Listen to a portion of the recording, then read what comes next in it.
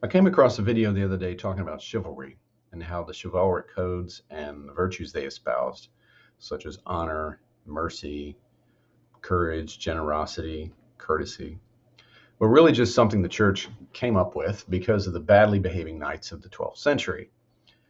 If you research this concept on the internet, you'll run into quite a few arguments like this.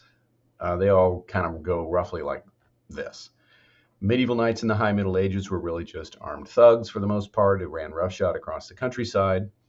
Armored rapists, I heard one individual call them. And so the story goes, they were arguably unpopular with various peoples of the land, understandably so. So, in order not to have a lot of peasant uprisings or something, the church devised a clever scheme to keep the established order in place.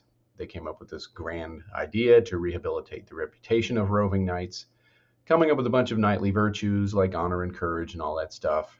And not too long after that, troubadours, poets, and other hopeless romantics got caught up in all of this and created the tradition of the medieval romance. And many real world knights actually came to take these chivalric ideas very seriously. Therefore, these internet historians and interested layfolk conclude the idea of the chivalric code and other sorts of codes of honor are really just a bunch of sentiment and nonsense, nonsense cynically created by the church and other, other upper echelons to maintain the established power hierarchy and keep the unwashed and unlettered rabble in their place. It's really just a manipulation that's really about power and has nothing of real value. They don't all say this, but this is the implication in many of these. Hi, I'm Dr. G. I'm a psychiatrist veteran. I'm also a fantasy author, and I happen to be a Jedi Master. You want to like and subscribe. Here at the Imaginarium, we talk about science, psyche, and story, but today's video is about something very serious codes of honor and something called moral injury. In case you haven't figured out, I think that interpretation of why codes of honor came about is seriously lacking, and I'm here to dismiss that interpretation. Let me explain to you why I think not only is there a much more important and serious reason for such codes to emerge in times heavy with armed conflict, but even though it could be hijacked by those jockeying for power, and honestly, what isn't hijacked by people in power, the idea of a code of honor or code of conduct is a very real and very valuable aspect of one's identity. I think that it should be taken seriously. I don't ascribe to the self refuting idea that all moral or ethical rules are arbitrary and relative. Let me explain. When I served in the Air Force, one of the main things I learned there were the Air Force core values. This was integrity first, service before self, excellence in everything we do. This was drilled into me during my officer training. I served proudly for seven years in the Air Force as a military psychiatrist. Back then, I was Major Goodwyn. And the core values were obviously an evolution of, in my opinion, those medieval chivalric codes. And many of the customs and courtesies of the military in general, such as saluting, are as well. Saluting, they'll tell you in um, officer training and other military training, is when knights had to raise their visors to recognize one another. They would look up, raise the visor up, much like a salute, like that. So that came about as a historical legacy. But what is the real story about such values? That's what I'm interested in talking about. What's interesting is that this so warrior code of honor, like chivalry, which throughout most of history was a men's code of honor, since most people involved in war were male, have emerged independently throughout history. In Japan, for example, you had the idea of Bushido, a code of honor that was expected of samurai. We mentioned the chivalric ideals, but you also see the same ideas discussed in ancient epics, such as the Iliad. And across indigenous cultures, all warriors have a code of conduct expected of them. It can vary quite a bit, but there's always a code of some kind. Why is this? Well, I think attributing the idea to the church and to the work of a couple of cynical power mongers is a lousy explanation and that it falls flat. I think there's a whole lot more to it, and it lies in the concept of moral injury. Moral injury is a term that was coined by Jonathan Shay, a military psychiatrist who, with many others, saw that veterans returning from Vietnam and later conflicts sometimes, sometimes had more than just PTSD. PTSD or post traumatic stress disorder, you see, is characterized solely as a response to being in danger. Moral injury, however, is something else entirely, or it was often piled on top of PTSD to generate even greater suffering. Moral injury has several definitions, but most simply, it's something that results from when you do something that you know is evil, even if you're ordered to, or if it seems that there's no alternative.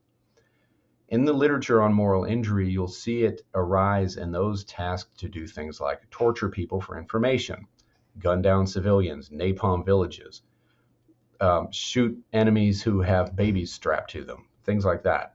The rage and the terror of wartime situations can make one vulnerable to moral injury because, by its nature, war puts people in no win situations. War is not only hell, it's an evil enterprise altogether.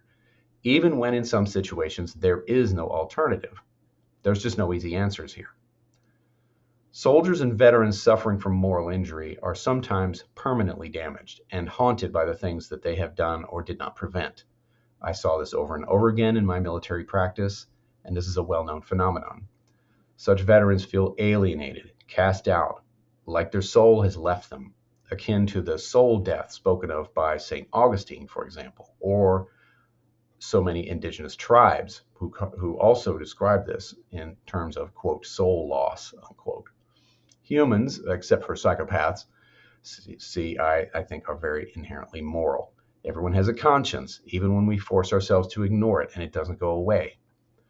This was symbolically described in the myth of Heracles, who, in a blind rage, killed his whole family and suffered a devastating moral injury as a result. This is not just a mere invention of troubadours and poets. In 2013, I published a paper on the dreams of soldiers who are in combat zones. There's a few videos I have, they're older ones on my channel that you can check out. I saw the effects of moral injury in real time in this in the study.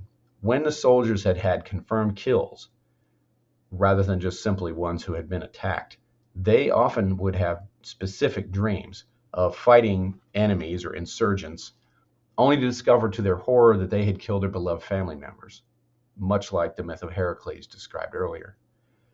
Killing inflicts a moral injury on the killer. Now, that doesn't mean that people can slip into a mode of thinking where killing they in the moment at least doesn't bother them but we'll talk about that in a minute.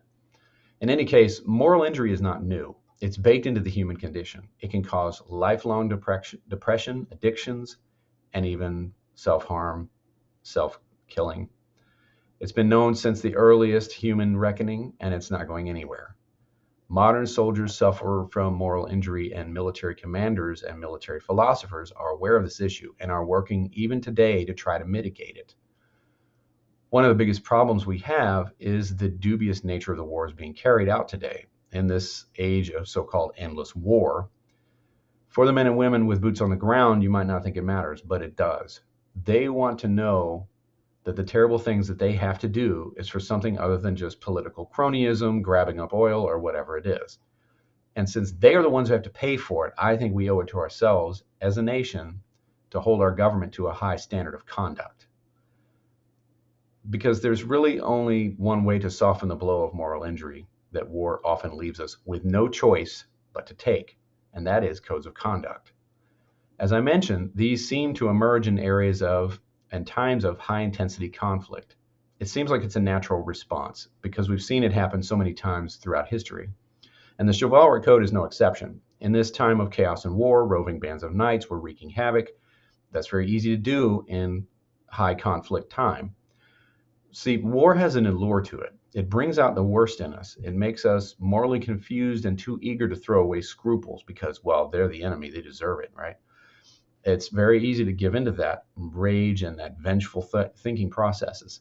The, pro- problem is it's a one-way trip. Once you go down that path, it takes over, and it makes it easy to give up the moral compass that you already had until you return to peacetime because the moral compass doesn't go away. And then once the dust clears and you've had time to think about everything that you did, that's when the moral injury can take its toll and it can be devastating, if not lethal. So, what do we do about it? Well, strict codes of conduct in war is one preventative.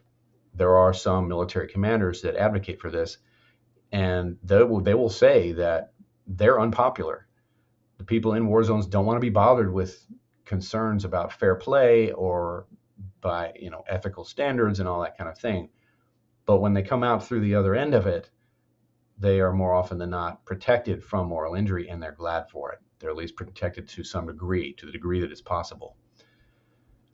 To protect us from moral degradation and moral injury, then that's one way that we can do it with a code of conduct that's strictly followed.